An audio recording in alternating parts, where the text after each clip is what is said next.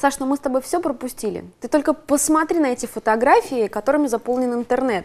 Это все мы собирали жители Самарской области, Старая Бенарадка, Сызрань. Да даже можно было в городе набрать корзиночку Ну грибов. ладно, ладно, Саш, не расстраивайся. Вот позволь тебя утешить баночкой таких грибов. Правда, они куплены в магазине, но я надеюсь, по вкусу не отличаются от настоящих лесных. Осень еще не закончена, поэтому за грибами мы обязательно успеем сходить. Но самое главное, нужно подготовиться к походу за грибами.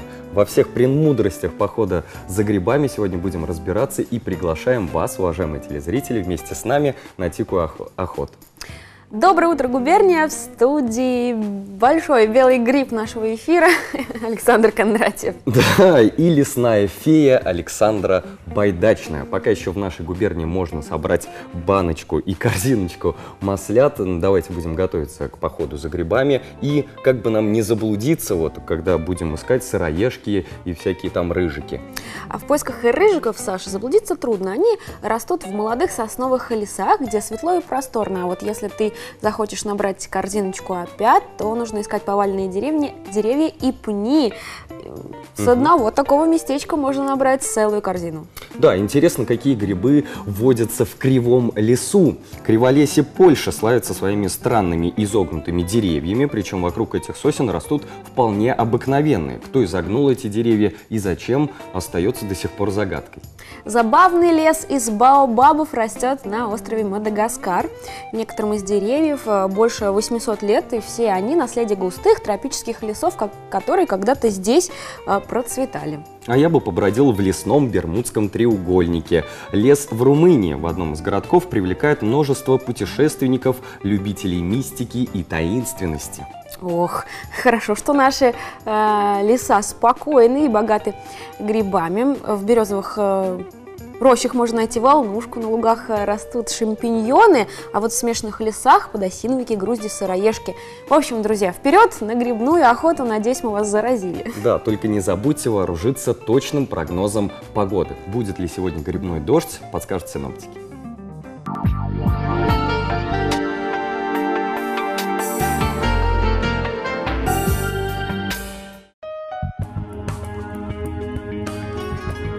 По сведениям синоптиков, 23 сентября в регионе ожидается переменная облачность, преимущественно без осадков. Днем воздух прогреется до 19 градусов тепла. В ночные часы столбики термометров покажут плюс 6, плюс 8. На севере и западе региона ожидается облачная погода и 18 тепла. На востоке и юге воздух прогреется до 19 со знаком плюс. Ночью в областной столице 6 градусов выше 0.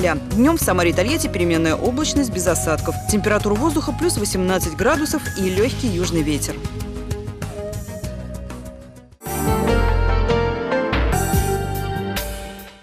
Отправляясь в лес, грибник должен хорошо подготовиться. Во-первых, сказать родным, куда он отправляется, в какое место искать грибы. И, конечно, если он это делает на машине, проверить, хватит ли ему бензина добраться до леса и обратно. Собирайте только те грибы и ягоды, в которых вы точно уверены, ведь никто не хочет отправиться после приятной прогулки по лесу в больницу с отравлением. А вот одеваться настоящий грибник должен как светофор. Ярко-желтые, оранжевые, красные куртки, да еще со светоотражательными полосками помогут вам найтись в лесу в нужный момент. Ну а если вы все-таки заблудились, не паникуйте, остановитесь и прислушайтесь. А, и наверняка вы услышите то, что нужно. Работающий трактор слышно за 34 километра, собачий лай за 2-3, проходящий поезд аж за 10 километров. Поэтому не беспокойтесь, всегда Да. найдется выход. А если точно будете знать, что вас будут искать, да, в случае того, если вы заблудились в лесу, оставайтесь на месте, разведите костер и пойте любимые песни. По голосу вас легко найдут, и также, если захотите выбраться сами, можно определить выход по солнцу. В наших широтах солнышко с 10 утра до 7 вечера располагается на южной стороне. Да, и хорошо, если удастся выйти к линии электропередачи или какой-нибудь речки, двигаясь вдоль этих объектов, вы наверняка выйдете к людям. Ну и э, старое правило, известное всем со школы, мох растет с северной стороны дерева, тоже может вам пригодиться. Да, если вы начнете мерзнуть, то пара энергичных движений э, позволит вам вернуть ощущение тепла, поэтому прыгайте, бегайте, а лучше всего вспоминайте упражнения из нашей рубрики «Простые движения». Спасительный фитнес прямо сейчас.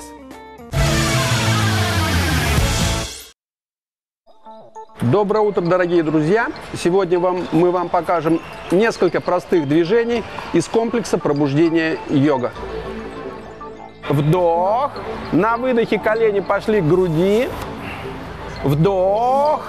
Пяточки в потолок, ноги сильные. Выдох, медленно опускаем. За ногами пошло туловище. Подтягиваем стопы ближе к тазу, обняли колени. На вдохе через макушечку вытянули спину. Вдох. На выдохе бросили голову, расслабили шею, спину. Работают только руки. И вдох, вытянулись. Фиксация. Не теряя осанки, выдох. Вместе с воздухом сбросили напряжение в тазовой кости, в коврик, в пол, в землю. Голени скрестно, выкатились на колени. Кошка. Кисти рук, проекция плеч. Вдох, проваливаем грудь, сводим лопатки. Выдох, спина горой вверх. Вдох, проваливаем грудь. Выдох. Хорошо. Руками толкнулись, развели лопатки. Вдох. И на выдохе подали правую ногу в линию туловища. Носок на себя, пятка от себя, макушка вперед. Потянулись. Вдох. На выдохе колено к плечу. Есть контакт. Вдох. Нога в сторону. Тянем носочек на себя. Нога сильная, прямая. На вдохе нога по дуге. На выдохе колено груди, пяточка к тазу, спина горой вверх. Посмотрели, ну пок, фиксация. Исходная позиция. Правое колено в центре коврика. Вдох. На выдохе левая нога в линию туловища. Носок на себя, пятка от себя, макушка вперед. Потянулись. Вдох. На выдохе колено пошло к плечу. Есть контакт. Вдох. Нога в сторону. Носок на себя, нога прямая. Обе руки прямые. И на вдохе нога по дуге. На выдохе колено груди, пяточка к тазу. Посмотрели на пупок. Исходная позиция. Скомпенсируемся. Вдох. Выдох. Спина горой вверх. Хорошо. Спина плоская. Руками толкнулись, развели лопатки. Вдох. И на выдохе уходим собаку мордой вниз. Отстраиваем линию руки туловища. На вдохе носочки потянули на себя вверх, пяточки подаем на коврик, вытягиваем заднюю поверхность бедра голени. Вышли на основание пальцев, чуть присогнули ножки, мягко прыгнули к рукам. Оп, бедра параллельно полу. Вдох, руки вверх. Выдох, чуть подтянули живот, убрали поясничный прогиб. На вдохе руками вытянули спину, вдох. На выдохе на масте. Ладонями давим друг на друга через макушку, еще раз вытянулись. Вдох. Выдох. Солнышко встает медленно. Еще раз. Ладонями давим через макушку, вытянулись. Вдох. Тадасана. Выдох. Всем доброго дня.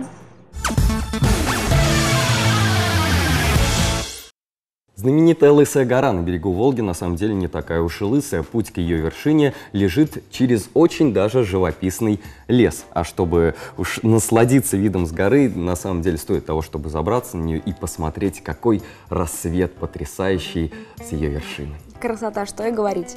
Ну а за настоящим грибным урожаем э, стоит отправиться в Малую Малышевку. По словам грибников, здесь водятся э, сморчки, вешенки. На границе с, Борском, с Борским районом лес богат опятами, маслятами и белыми грибами. А по пути из Суходола в сторону Кинель-Черкас есть березовые посадки, где водятся грузди и опята. А вот места поближе к городу. Если отправиться в сторону поселка Прибрежный, можно найти опята. Груз здесь тоже водится. В рощах поселка Управленческий есть подберезовики и сыроежки. В лесу возле села Новосемейкино растут вешенки и маслята. М -м. Вот такую грибную карту мы для вас составили. А, но есть в нашей губернии леса не только богатые грибами, но и легендами. Например, урочище Гремяче в Сызранском районе. А, согласно преданиям, здесь в пещерах уже много тысяч лет живет карликовый народ, который здешние чуваши называют человек-филин. А близ села Михайловка Теренгульского района есть лес с камнями причудливой формы. Некоторые напоминают фигуры черепах, крокодилов и лица гигантских людей. Есть поверье, что если обнять каменного идола, то все ваши болезни пройдут. В этом лесу до сих пор встречаются разноцветные мхи. Голубые, синие, белые. Ну что ж, а знаменитые э, генковские полосы, стоит сказать и о них. Э, это одни из самых красивых э, лесопосадок в нашей губернии. Во времена царской России под руководством известного ученого лесовода Нестора Генка на территории нынешних Безенчукского, Хворостянского, Волжского, Кинельского и Красноярского районов были созданы лесные полосы. Они защищают губернские земли от разрушения ветром и помогают сохранять влагу в почве, да и просто украшают наши степи. Еще больше интересных фактов из истории нашей губернии в календаре.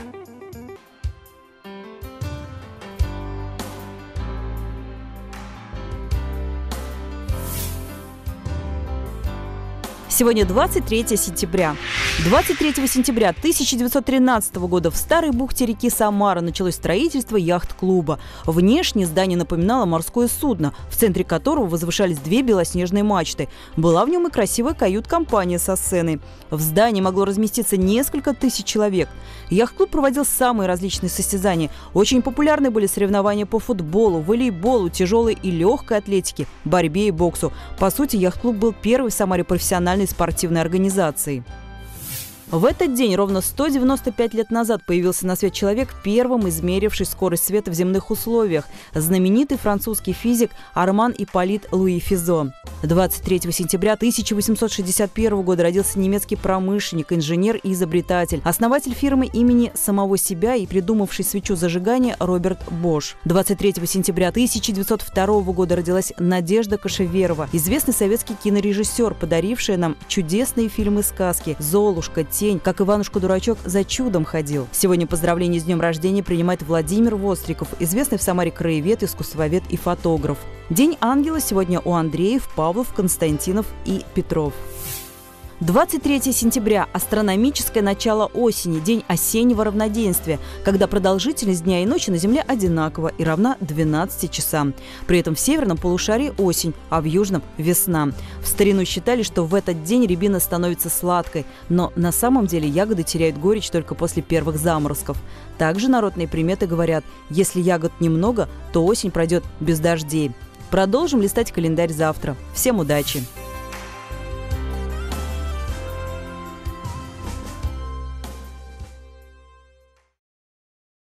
Напоминаем адрес нашей редакции 443-068, город Самара, улица Новосадовая, 106, корпус 106. Электронный ящик утро собака губерния.тв.ру.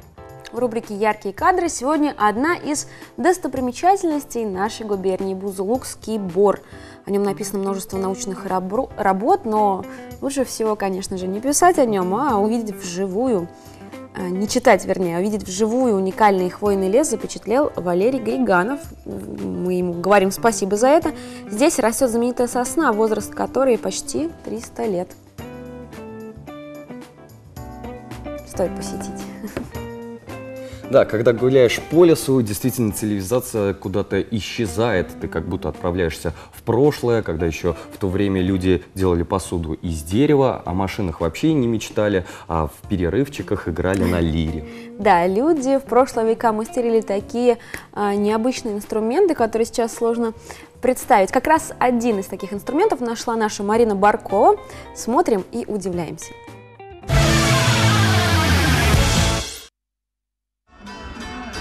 Самарчанка Надежда Малыванова этим летом домой вернулась не с пустыми руками. Привезла из столицы Белокаменной новенький диковинный инструмент – до гусляра Илью Ахрамеева в придачу. Лира колесная ей понадобилась, чтобы играть на ней старинные духовные песни, а добрый молодец – в качестве исполнителя и наставника. Ой, приехали, да мы до дому, ой, приехали, да мы до дому, ой, поели да кони солому, ой, поели да кони солому. Годик придется с ней повозиться, прежде чем э, приноровиться к ней, потому что это очень капризный инструмент. Ага.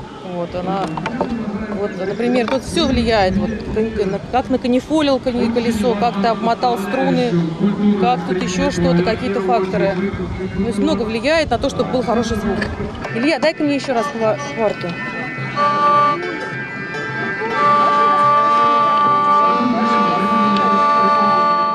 Дуэт Ильи и Надежды выглядит так, словно музыкантов ненадолго телепортировали прямиком из 13 века. На самом деле Илья – известный московский гусляр, а самарчанка Надежда – артистка местной филармонии. Сдружила их любовь к русской старинной музыке. Это вот такая вот как бы большая скрипка, может быть, да? Она похожа на большую скрипку, но в то же время вот э, смычком здесь служит колесо, э, на струнах намо- намотаны такие нити, натуральной шерсти. да. Здесь еще существуют вот э, клавиши такие, да?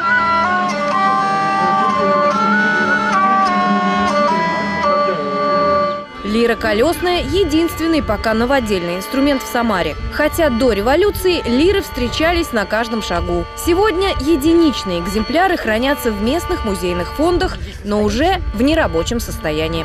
Существует в, мире около 100 разновидностей колесных лир.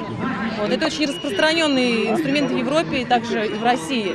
По России ходили такие певцы, называли коле- калики-перехожие или лирники. Вот были такие артели лирников, они ходили, пели духовные стихи. Этот жанр был очень распространен на Руси. Вот, но в связи с гонениями э, много лирников было уничтожено.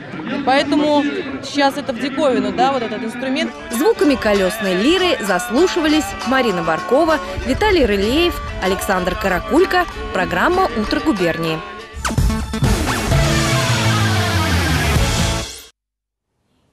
Хорошие новости ждут нас под Новый год. К 31 декабря в Курумыче откроется новый аэровокзал. Эх, здорово. Под крылом самолета о чем-то поет зеленое море тайги. К сожалению, это не про нашу губернию, тайги у нас нет. Зато у нас есть Грушинский фестиваль, на котором найдутся песни на все случаи жизни. Встречаем нашу рубрику «Грушинское утро». Наш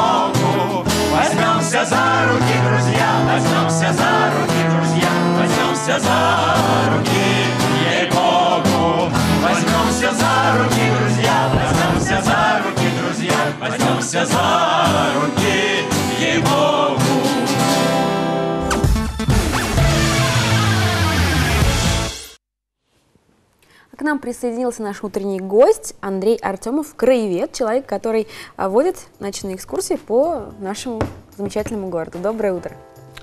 Здравствуйте. Ну, я, Все верно. да, я бы просто сразу сделал небольшую поправку. Я себя, так сказать, позиционирую как краеведа, широко известного, но в узких кругах. Потому что у меня хоть и есть историческое образование, но, наверное, с полным правом краеведом я себя назвать не могу. Есть я Андрей. только в начале этого пути, вот так скажем. Ну, почему проводятся ночные экскурсии? В, в чем их смысл? Откуда вообще появилась такая идея? Э, Предыстория таковая. Начну сначала, если можно. Родился я в далеком 1985 году. Остальные подробности моей молодости мы опустим. И вернемся к тому моменту, когда я стал, помимо вот краеведа, историка и просто хорошего человека, еще и журналистом самарского медиапортала «Другой город». А у нашего медиапортала, он же интернет-журнал, называет кто как хочет, у него каждый месяц есть тема номера. И вот в августе темой номера была «Самара ночная». И однажды с утра, когда я пришел в редакцию, ко мне подошли мои товарищи, встали вокруг меня полукругом и сказали, Андрей, у нас родилась идея. А не устроить ли нам экскурсию по ночной Самаре? Потому что никто, в принципе, ночью этого не делает. Я говорю, в принципе, идея-то хорошая, но при чем здесь я?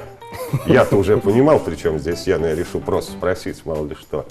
И меня назначили экскурсоводом, так как вот в нашем медиапортале «Другой город» я как раз отвечаю за краеведческие темы. Я веду отдельную свою, так скажем, колонку «Альтернативная география Самары», где рассказываю о всяких интересных, но негласных районах. Запанской, Зубчининовка, Безымянка, моя любимая.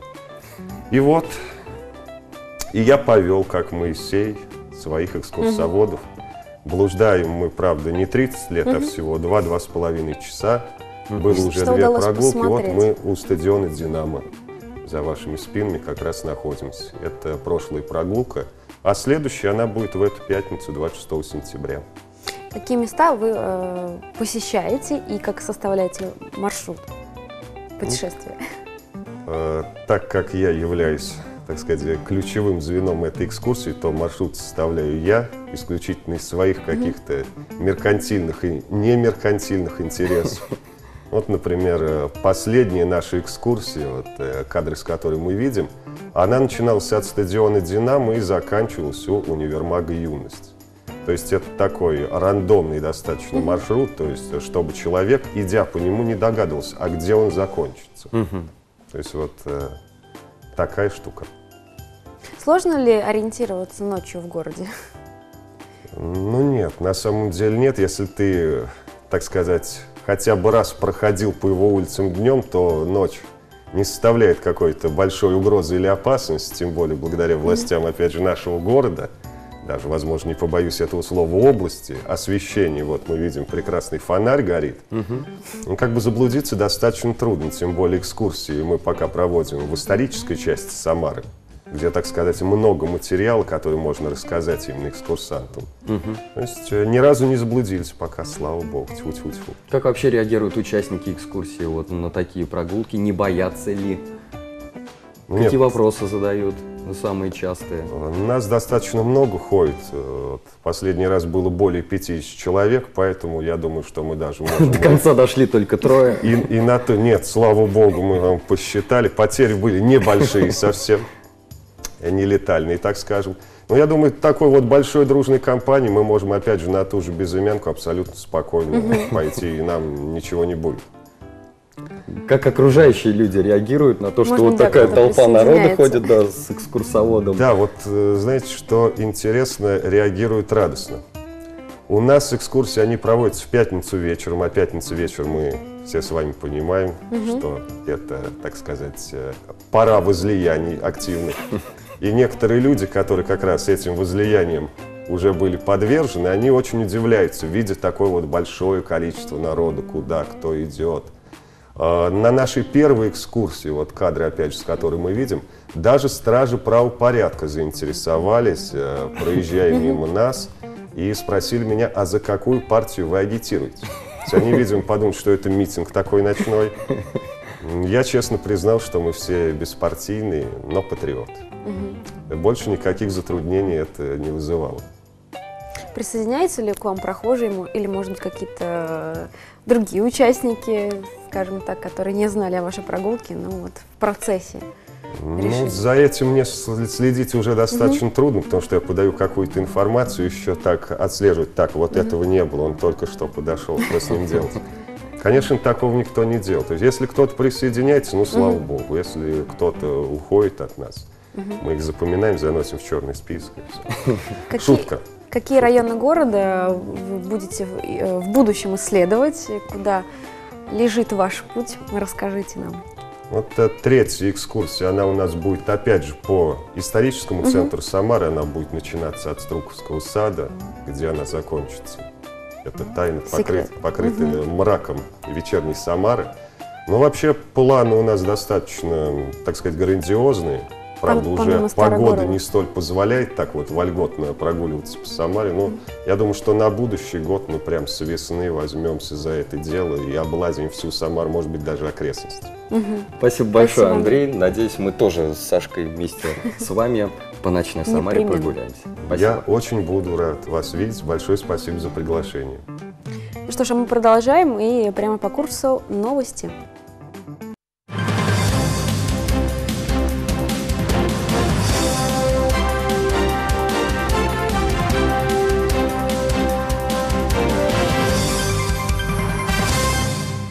Новости губернии в студии Татьяна Потоцкая. Доброе утро. Самарские двигатели могут поставить на суборбитальный европейский шаттл. Переговоры об этом сейчас идут между ОАО «Кузнецов» и швейцарской компанией Swiss Space Systems.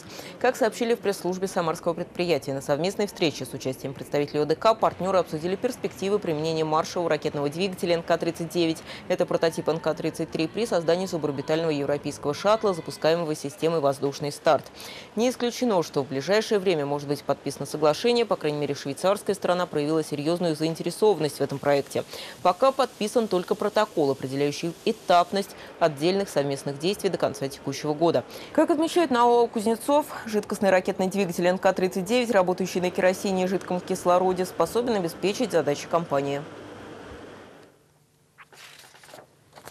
Пахали за себя и за весь район. 19 сельским трактористам пришлось на целый день забыть полевые хлопоты и вместо борьбы за урожай бороться за звание лучшего механизатора области. Площадкой для соревнований стал полигон Самарской сельхозакадемии. Знание правил дорожного движения и фигурное вождение. Без ошибок испытания прошли лишь те, кто справился с волнением и не забыл классический трактор МТЗ. Сергей Павлов как раз о таких.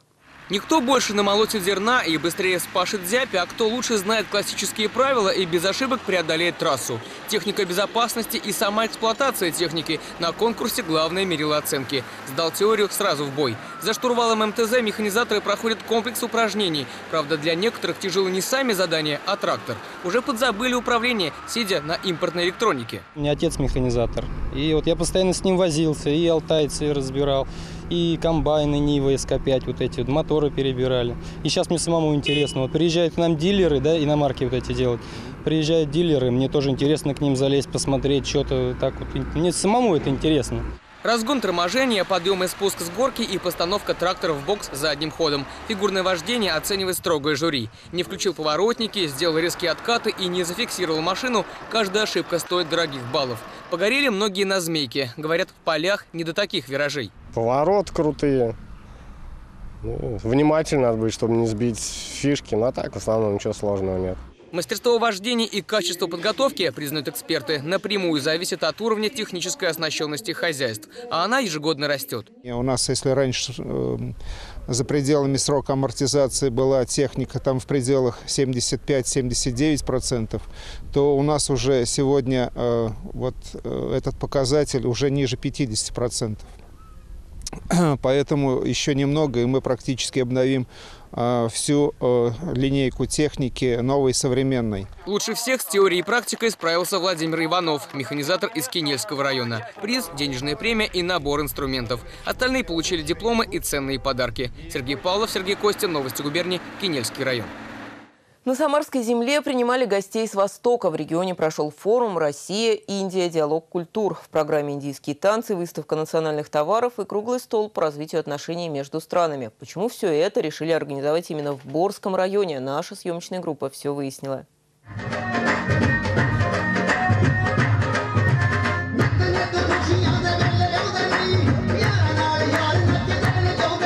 Земля самарская, песни и танцы индийские. В село Борское гости с Востока приехали на форум, проходящий в рамках Российского года культуры. Выбор места не случайен. В районе на протяжении шести лет успешно занимаются сельским хозяйством бизнесмены из Индии. Они знакомят россиян с традициями Родины. Я должен показать свою страну, вот, чем она богата, сильна, вкусно все должно быть у нас. Поэтому мы сегодня выставили такую небольшую ярмарку для наших борских э, коллег. Гости праздника скрепляли узы дружбы национальными лакомствами и говорили о миротворческом потенциале двух культур.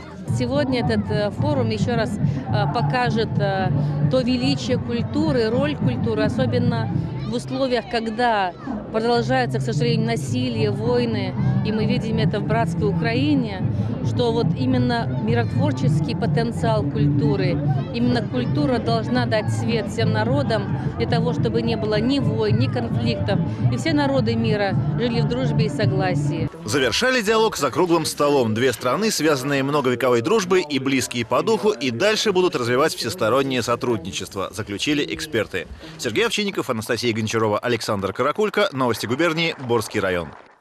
И пока на этом все. Увидимся.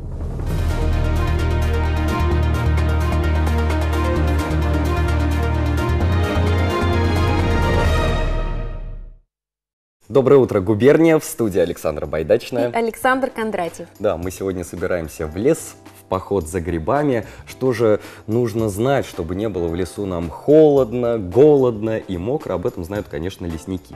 Ну а лучших работников лесного хозяйства прошлые выходные уже поздравили с их профессиональным праздником и наградили памятными подарками. Также в нашей губернии стартовала акция «Благородство-2014». Каждый может рассказать о благородных поступках своих соседей, друзей и просто знакомых. Для участия в акции нужно подать заявку до 15 октября. Еще одна хорошая новость. В Самаре пройдет первый ежегодный форум молодых лидеров ЮЛИТ-2014 «Самара». Участники смогут развить свои лидерские качества на специальных мастер-классах и узнать о возможностях самореализации. А в четверг, 25 сентября, в Самаре отпразднуют День тигра. Мероприятия, посвященные этому необычному празднику, пройдут в Самарском зоопарке. Этот день еще и совпадает с днем рождения амурского тигра по кличке Кактус, который живет в нашем зоопарке. Отличный праздник! А между прочим, наблюдение за животными и птицами помогает справиться а, со стрессом и вернуть хорошее настроение. Мы еще раз напоминаем, что в национальном заповеднике Самарская Лука существует смотровая площадка, э, где можно понаблюдать за дикими животными. Да, сейчас мы понаблюдаем за журавлем. Праздник в его честь проходил в Самарском зоопарке. Как это было, расскажет Татьяна Карпова. Журавли расхаживают по клетке, недоверчиво поглядывая на прохожих. Самочка немного дрожит. Видно, еще не совсем привыкла к повышенному вниманию со стороны посетителей. Два года назад эта вольная птичка попала в беду. Летя на юг, не смогла совершить вынужденную посадку. Как итог, сломанное крыло. Свой профессиональный праздник, День журавля, пернатый отмечает уже в Самарском зоопарке. Инвалида выкормили и выходили местные сельчане, а затем передали в руки специалистов. Птицам этим всегда уделяется внимание, они всегда любимые сотрудниками зоопарка, они интересные птицы, непосредственно, ну не говоря уже о их красоте. У нас есть рацион, и помимо этого рациона давать какое-то лакомство, это может быть только во вред. А так рацион очень сбалансированный, там и живые корма, и растительные, и животные, все есть. Помимо серых журавлей, в Самарском зоопарке приютили и их сородичей. Самые маленькие, красавки, прилетели из Большечерниговского района. Родители двух пуховых птенцов были убиты браконьерами. Чтобы приучить малышей к жизни в неволе, потребовалось больше года. Я видела серого журавля. Он большой, среднего размера, и он очень сильно заорал. Чуть всем на уши не оглушил. Вот. Еще я видела маленького журавля, он очень был красивый. А одного я видела в самом начале, он, а, девочка была без глаза. То есть один глаз был, а второго не было. Поздравить пернатых с международным праздником приехали юные натуралисты, школьники. Лучший подарок, сделанный своими руками. Восьмилетние мальчишки и девчонки оставили на память о себе авторские поделки. Мы сегодня на этом празднике в таком вот помещении вот зарабатываем жетон, чтобы получить приз. Мы должны проходить всякие задания, э, ну и все такое. Празднование Всемирного дня журавля совпадает с периодом его сезонной миграции. Пернаты отправляются на юг в середине сентября. Татьяна Карпова, Вячеслав Потоцкий. Программа «Утро губернии».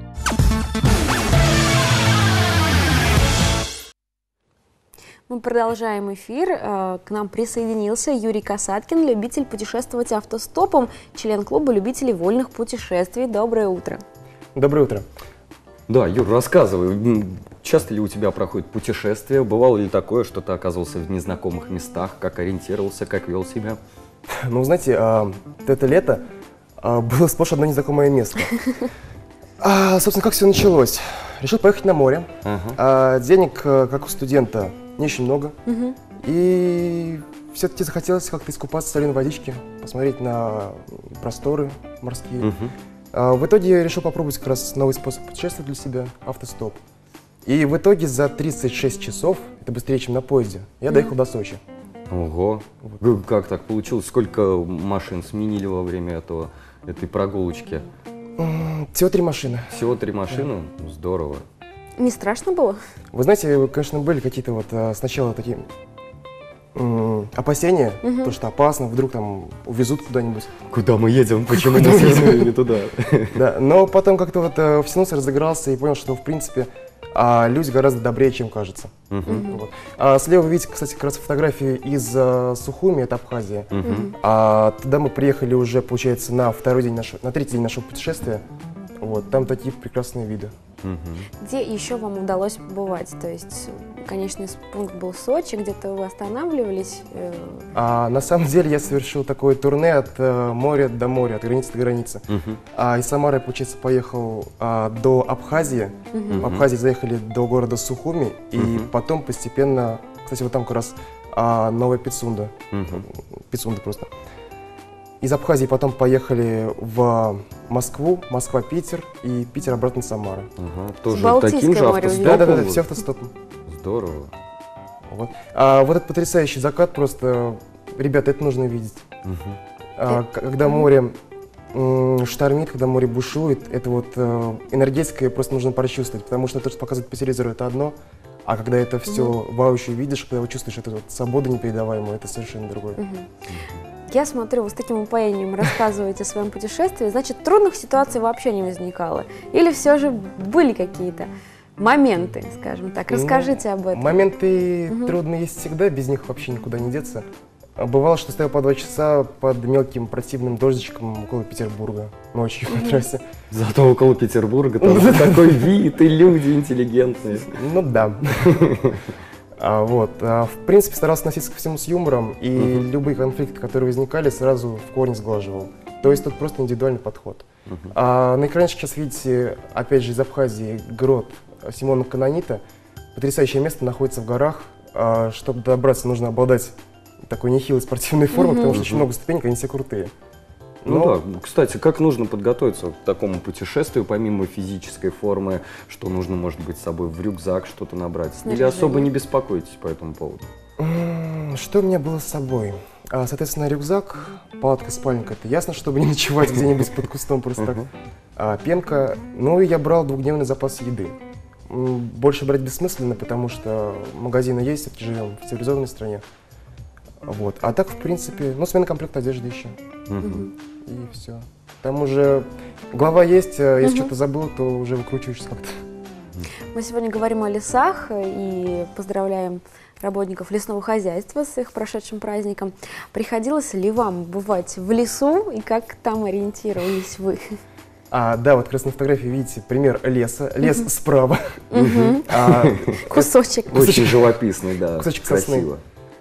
А, да, бывало, ориентировался, как правило, ну, просто запоминал, откуда вышел, куда иду, и вот внутренний компас, он как-то помогает в этом деле.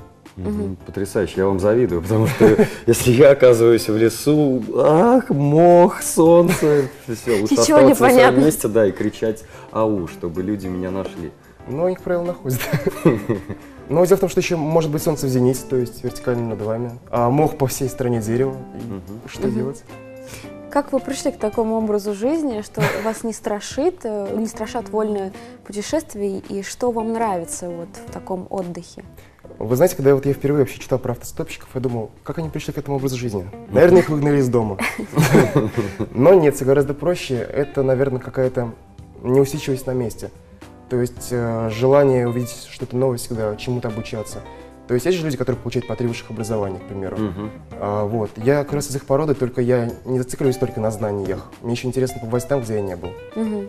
Ну, помимо, да. Прекраснейшая улитка из города Пущино. Э, Пущино это как раз вот мы говорим- о чем говорим о знаниях. Это Мгм. наукоград нашей Мгм, страны. мгм. То есть один из э, центров образования. Городок маленький, но в нем 9 институтов. Мгм. 25 тысяч человек. Здорово, прям только заходишь на эту территорию, уже чувствуешь себя умнее. Да, вот уже там люди в очках ходят. А как проходило знакомство, ну так скажем, с вашими попутчиками? То есть вы останавливали машину, говорили, что вы говорили? Да, есть какие-то психологические уловки, чтобы точно вас взяли? Ну, вот это уже, получается, отсев проходит на стадии, вот ты палец поставил, и уже остановились, значит, что-то человек от тебя хочет. Мгм. Как правило, это водитель, которому скучно, он едет на длинную дистанцию, и ты просто скрашиваешь, платишь своими эмоциями Мгм. за то, что он тебя подбрасывает. Мгм. Вот. Как правило, говоришь, здравствуйте, еду туда, ты подбросите. Да, и потом уже в ходе начинаются беседы. Да, в ходе начинается. Был интересный случай, а, выезжал как раз из Пущино, встретился водитель, очень сильно похожий на Хью Джекмана. Вы знаете такого актера, да? Конечно. Я такой сижу, а можно нас, пожалуйста, сфотографировать? Он, Зачем это? Я говорю, ну, понимаете, похоже актер американского. он, Такой медленно руку достает. Почти. Я говорю, перечисляю, где он, значит, играл актер. Он, нет, все это фантастика, все это нематериальное. Поехали дальше. А где самые красивые пейзажи вам запомнились, самые красивые виды? Морские, наверное. Два места запомнилось больше всего. Это как раз Абхазия, Мгм. когда едешь по серпантину, по горному, и видишь вот тут горы, э, и вот на этих горах, как вот э, как корона, облака. Это нужно видеть. Абхазия и Петербург, наша культурная столица. Мгм. Это непередаваемое ощущение свободы, того, что вот все люди разные, все люди индивидуальности, как-то вот интеллектом все пропитано. Мгм. По нашей губернии приходилось путешествовать? Да, я к тому же занимаюсь велосипедным спортом, Мгм. так что, в принципе, изъездил, считаю, более-менее хорошо нашу область. Давайте прервемся буквально на минутку на наш традиционный опрос.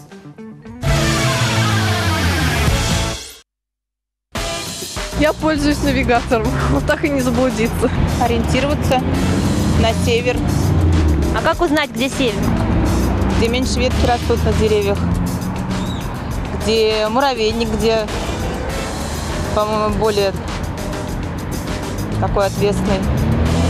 И звезда. По компасу. А еще какие-то если нет компаса?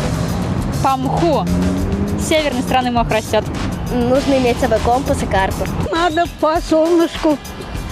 Если ночью, то по луне. А если север найти, надо дерево посмотреть со стороны, где мох растет. Вот на север выйти. Не ходить в лес. Клубочек распутываешь и идешь потом. О, Гензель и Гретель. Точно, по хлебным крошкам надо выбираться. Слушать птичек. И что? Ну, они подскажут. С головой дружить и в лес не шастать без компаса.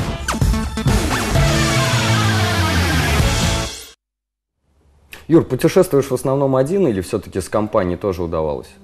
А, путешествовал с подругой. Мгм. Вот, собственно говоря, почему я решился на это, на это дело а, сподвигнуться, а, потому что подобралась хорошая компания, и, как правило, хорошая компания есть все-таки не так скучно. Вот. Выехать в Самару это была, была на самом деле тоже отдельная тема. Мы опоздали на электричку, а, хотели дать себе слабину в самом начале, уехать до Сызрани, и оттуда уже машину как раз поймать. Но мы на ней не успели, поэтому пришлось добираться все-таки Самары. Здорово. Для вас вот отдых, э, пример лучшего отдыха это какой отдых? Может быть, палатки, гитара, костер или пробежки, поднятие в гору, купание в море? Или все-таки путешествие автостопом? Я все-таки за разнообразие. То Мгм. есть э, отдохнуть, допустим, после тяжелого трудового дня, когда вот интеллектуально напрягаешься, а пробежка вечером Мгм. в парке. А если, допустим, вот лет, хорошая погода и время свободное, в принципе, позволяет, то как раз можно отправиться в место, в котором еще не был. Мгм. Допустим, сейчас э, раздумываю в следующем году поехать либо на Ближний Восток, Мгм. э, либо в Непал. То есть. география. Ну, а мне все-таки интересно, в Самарской э, области, в нашей губернии, куда можно отправиться? Вы как велосипедист со стажем, расскажите. Само- сезон подходит к концу, а велосипед как был на балконе, нужно все-таки его достать. Самое время доставать. Да. А, ну, во-первых, точка главная это Лысая гора. Мгм. Оттуда прекрасный вид непосредственно на вот нашу Да, мы, мы сегодня Волгу. уже любовались им. Мгм. Вот. А второй вариант это Жигулевский заповедник. Если и позволяет время, это на целый день. А, там просто потрясающие виды. В августе, особенно как трава цветет, такое Мгм. ощущение, что воздух пропитан медом. Ты вот едешь и вдыхаешь этот аромат, которого в городе просто нет. Мгм. А в целом есть клуб Велосамара, который организовывает часто катушки, так что Мгм. можно прибиться к ним, пожалуйста, в любое время. Здорово. Спасибо большое, Юрий. Вам спасибо. Побольше вам путешествий, приятных эмоций и, конечно, хорошего настроения. Спасибо. Ну что ж, а мы продолжаем, и наш путь э, лежит в далекий Перу. А, Благо, далеко ходить не нужно, в шаговой доступности репортаж Елены Шишкиной.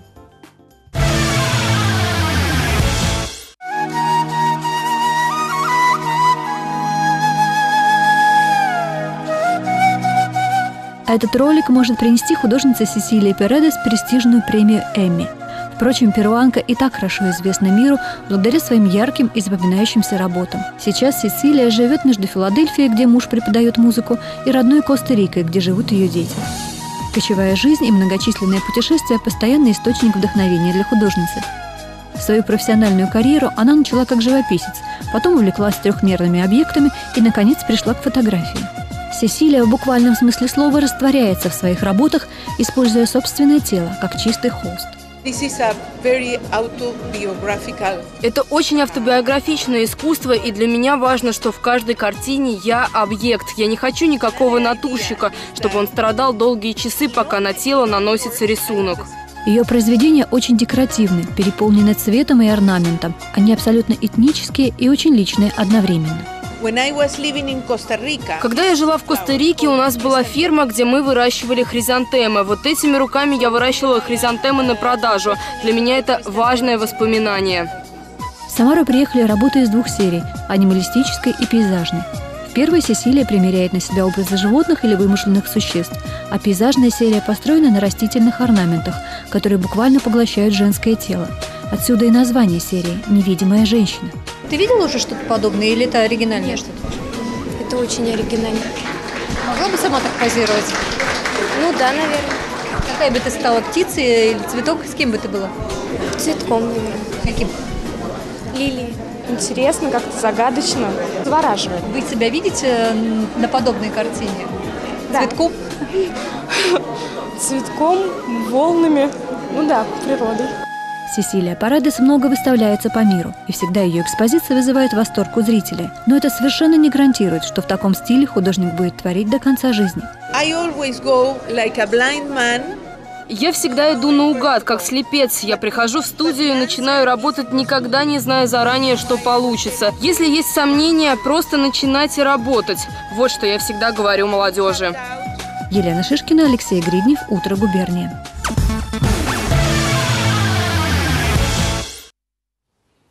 И по традиции наш гороскоп начнет Саша.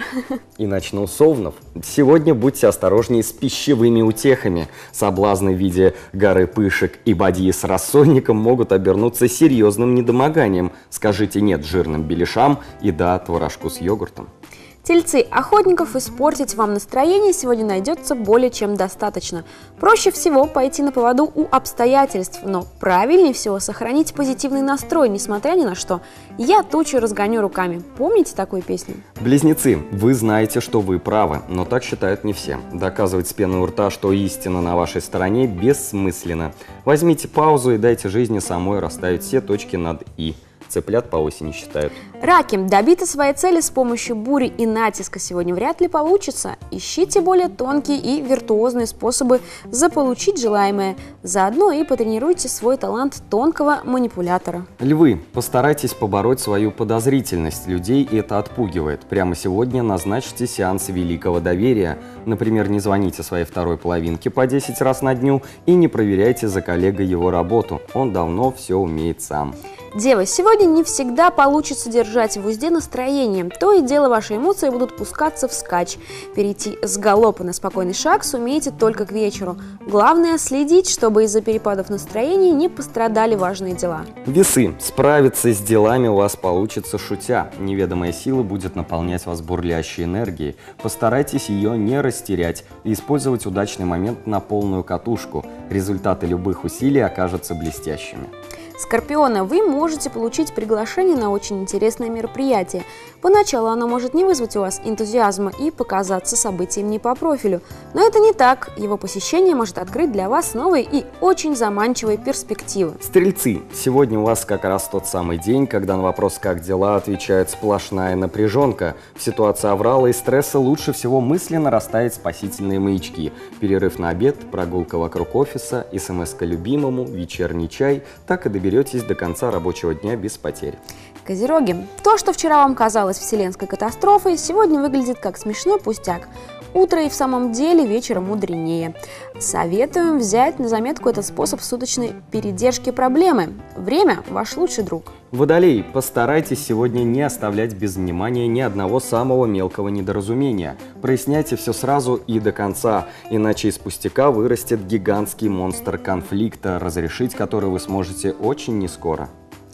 Рыбы, все в дом. Этот прекрасный лозунг вам нужно взять на вооружение. Больше не откладывайте намерение наконец купить те самые красные чашки на кухню. Сегодня одни достанутся вам с выгодной скидкой. На сегодня все. Подводя итоги нашего эфира, что мы знаем? Мы знаем, как не заблудиться в лесу и где растут самые вкусные грибочки. Друзья, и даже если грибов вы не найдете, то нас вы обязательно найдете завтра на этом же месте в тот же час. С вами были грибники и лесовики Александр Кондратьев и Александр Байдачный. Пока. Одежда ведущим предоставлена сетью магазинов модной одежды «Нью-Йоркер». Благодарим фитнес-клуб «Кинап Wellness за помощь в проведении съемок.